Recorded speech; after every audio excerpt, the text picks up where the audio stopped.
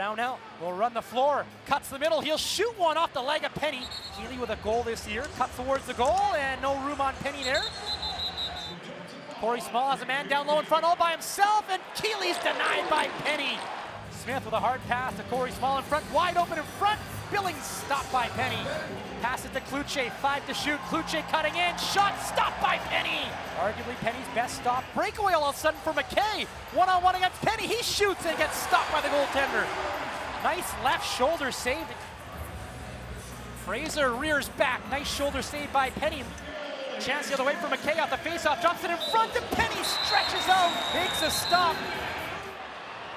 MacKay now gets the feed by himself, can't beat Penney again. Two breakaways in a, under a few minutes for MacKay, and Penney stopped them both times.